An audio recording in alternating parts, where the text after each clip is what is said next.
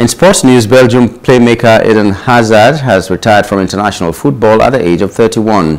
Hazard, who is an attacking midfielder or winger, made his Belgium debut in 2008 at the age of 17 and went on to win 126 caps, scoring 33 goals. His decision comes after Belgium were knocked out of the World Cup in the group stages. Hazard was part of the squad that reached the semi-finals of the 2018 World Cup, losing 1-0 to France and went on to defeat England to finish third.